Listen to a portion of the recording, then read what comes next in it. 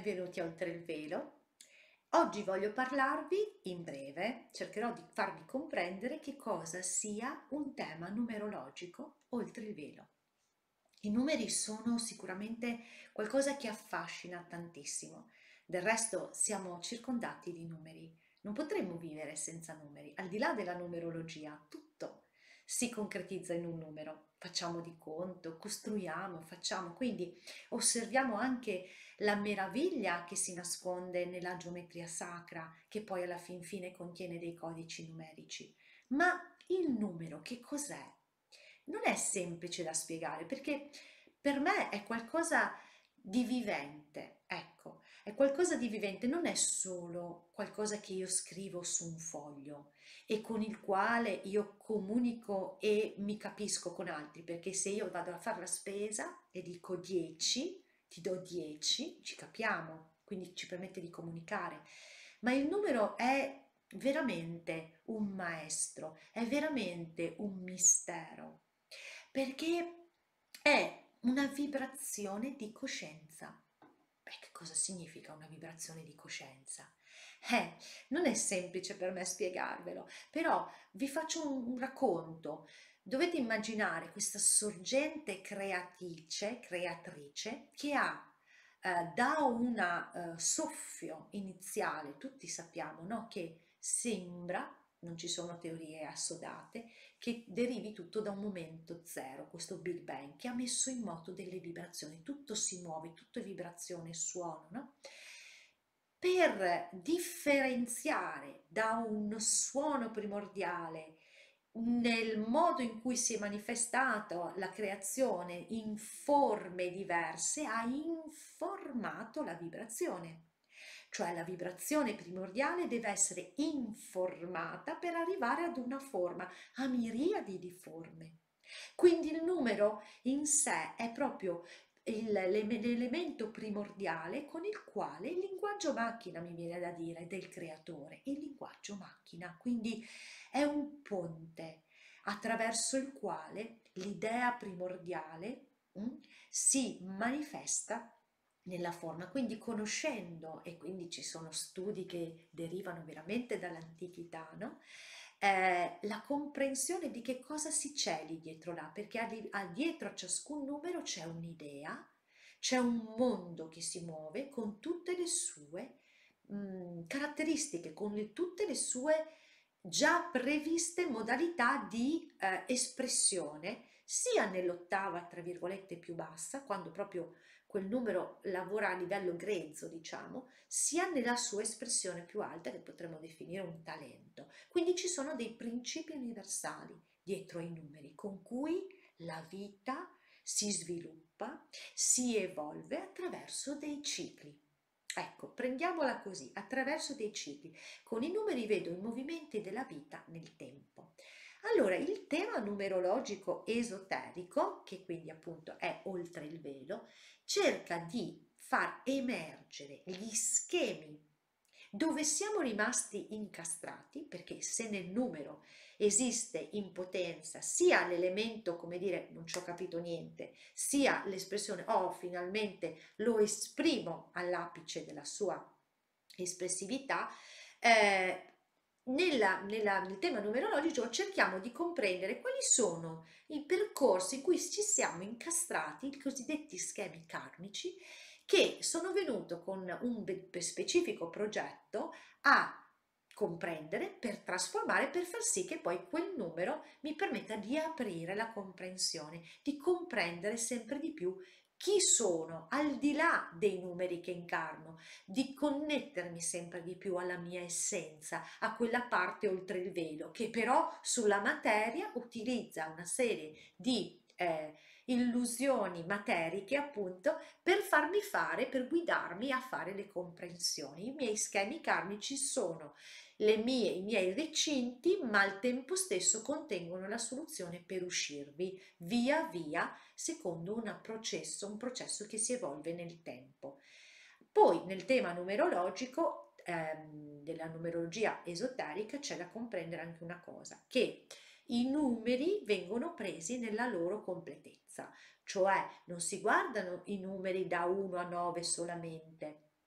che sono la base con cui si calcola la numerologia, ma si, vede, ah, si vedono anche i numeri da cui quelle singole cifre derivano, perché sono convogliano dei campi di esperienza diversi. Se per esempio sto guardando un numero 8, non è la stessa cosa che quell'8 derivi dalla somma di un 17, da un 17, 1 più 7 riduzione fa 8, o da un 71 oppure che derivi da un 26 o da un 62. Quindi in numerologia esoterica si prendono in considerazione i numeri totali per arrivare poi alla realizzazione del numero singolo, della cifra singola. Ok? Allora, siccome appunto e poi soprattutto si mettono, si collocano tutta una serie di parametri a partire dalla data di nascita, dal nome di battesimo, eventuali secondi, terzi nomi, eccetera, dal cognome. Si pongono su questa mappa che io definisco lenzuolo e si vede come dialogano tra di loro, perché a partire da queste semplici informazioni viene costruito un mondo e adesso ve lo voglio far vedere perché al momento quando, quando li, faccio le letture le persone dicono oh, ma cos'è tutta sta roba? E in realtà poi la bellezza è proprio che in quella roba c'è qualcosa che emerge prepotentemente perché è il modo in cui l'intuizione dice guarda che è attivo in questo momento un ciclo. Quindi la persona sta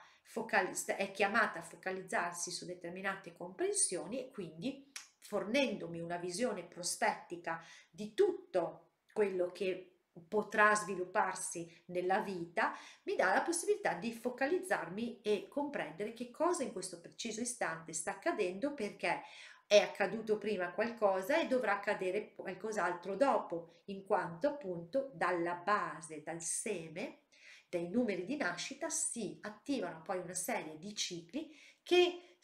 mettono in piedi come delle reazioni a catena, delle reazioni a catena che si svolgono nel tempo e che quindi mi permettono di comprendere che cose magari accadute in un determinato momento della vita poi risultano eh, propedeutiche a qualcosa che accadrà più avanti. Quindi ho questa proprio prospettiva nel tempo. Allora andiamo a vedere questo tema numerologico. Oh, mi sono divertita, ah, ho detto, mi sono seduto ho detto, beh, vabbè, facciamo un chi? Pinco Pallino, no? quando si dice chi è un Pinco Pallino qualunque, quindi ho usato proprio il nome Pinco Pallino e la data di nascita mm, mi è arrivata così, però la cosa forte è che il, il tema numerologico è veramente molto interessante, quindi proprio eh, ci sta, eh, ah, ci capita a fagiolo, scusate che non ha caricato la mappa e quindi eccola qua. Allora, Andiamo a vedere subito questo tema. Vedete, è un lenzuolo, c'è un sacco di cose.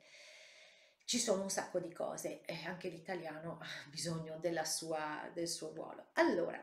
la prima cosa che vi mostro è la, importante nella numerologia esoterica, la somma della data di nascita non è un singolo numero,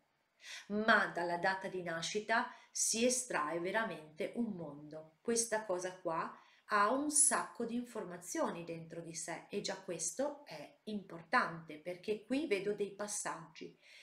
e eh, l'informazione che io estraggo da tutta la data di nascita non è la cifra singola che sarebbe un 1, bensì una serie di numeri che vengono calcolati in un modo specifico. Quindi questa persona è chiamata a portare nel mondo un'energia 1 attraverso tutta una serie di cose che sono dialoghi che si instaurano tra la data di nascita e poi i numeri collegati ai nomi, ma questa energia 1 la arriverà a comprendere non prima di aver fatto questi passaggi, cioè passando per il 46, per il 19 e per il 10. E questo è già un elemento molto importante, non è un 1, è tutta quella roba prima. E in più, poi è fondamentale che arrivare a questo 1 con questi numeri eh, dietro le quinte è importante perché eh, questi numeri hanno un loro perché. Quindi se io avessi per esempio una persona nata sempre il 13 giugno dell'89, quindi con questi stessi numeri, ma con dei nomi diversi, ok? eh, non sarà la stessa esperienza perché le, la, la comprens- le comprensioni che deve fare, gli schemi karmici, quindi i loop nei quali è incastrata,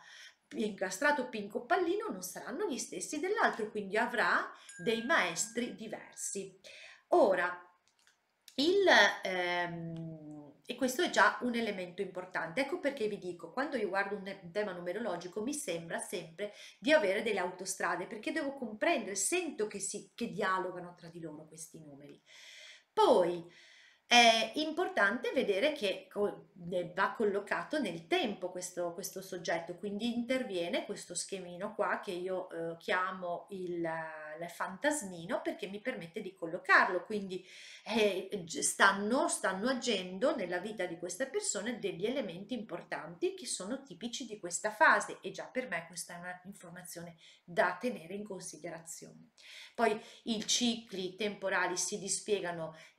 per una questione di comodità si mettono tre anni, si potrebbero mettere molto di più perché qui non è lo spazio che è importante, infatti nella numerologia non abbiamo le aree tematiche che potremmo avere nell'astrologia con le case, qui è proprio una questione proprio di schemi di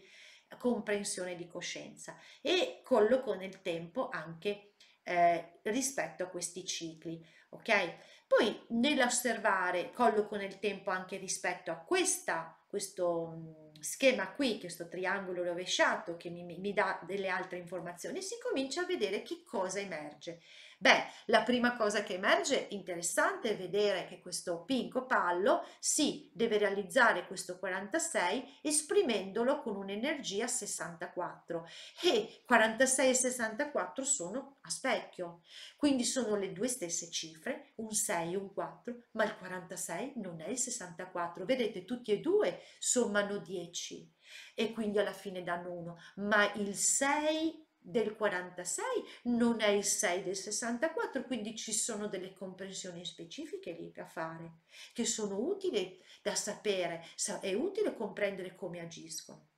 Altra cosa interessante che emerge è che questo Pinco ha 31 anni e lui ha un 31 in questa posizione che rappresenta un parametro molto importante perché è il parametro che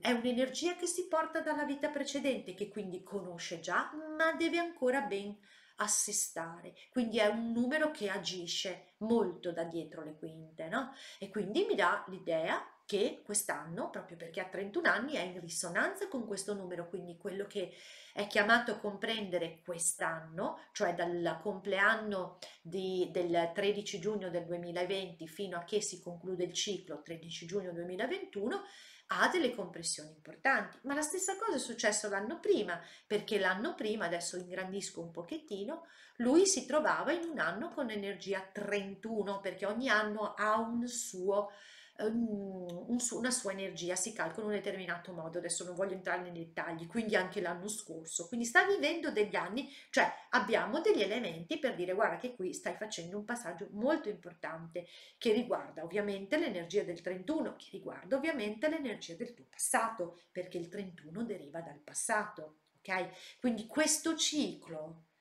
poiché questi numeri vengono tutti calcolati a partire dai numeri di base, è, è, sempre, è sempre stato lì e lui adesso lo sta vivendo. E quest'anno, e appunto in cui lui ha 31 anni, un'altra cosa interessante che balza agli occhi è che sta, ha vissuto, vive due, ehm, due volte l'energia del 51. 51 che se vado a vedere qui mi ritrovo anche che lui l'ha sperimentata in questo novennio tra i 9 e i 18 anni, quindi ho un indizio per dire ma andiamo a vedere che cosa ti è successo in quel periodo, perché la comprensione di coscienza di quel numero 51, che è un numero tosto, perché è un numero che ti fa provare veramente un dolore al cuore, un senso di fallimento, ecco, anziché rimanere invischiato ancora in quella dinamica che mi sento fallito, dire no, vai a vedere che qui hai l'opportunità di comprendere qualcosa che è accaduta nella tua vita e ora è arrivato il momento di trascendere, perché la vita è tutta un'espansione, la vita ci ama, non c'è niente che ci vuole impedire di realizzare noi stessi, però se sono incastrato in uno schema karmico, la vita dice ragazzo, pinco nel caso specifico, pinco, guarda questa cosa qua, vuoi vederla? Perché io voglio portarti oltre il velo, io voglio espandere la tua capacità di vivere, espandere, aprire i tuoi eh, come dire, paraocchi, ecco. Quindi ci sono tante cose interessanti che si possono vedere per costruire un tema natale, un tema numerologico e,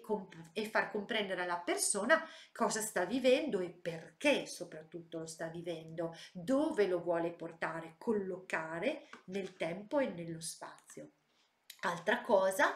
il, eh, la cosa utile che ti dà il tema numerologico è anche se sta in quel momento, poi ovviamente avete visto ci sono tanti altri parametri, ma naturalmente non possono intanto essere presi la prima volta, si fanno a processi e poi magari in quel momento non erano attivi come numeri, quindi non vale neanche la pena andare ad approfondirli, perché ripeto, te, i temi nostri, Natale, numerologico, degli angeli, sono viventi, cioè non è che lo, lo leggo una volta, ciao, e ho capito tutto,